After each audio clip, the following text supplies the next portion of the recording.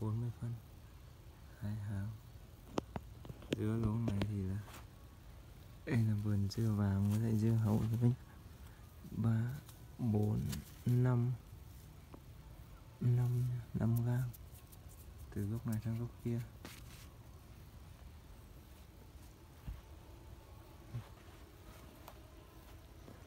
Còn cái ờ, đây. Còn cây cách cây. 30 phần. Còn trên này thì là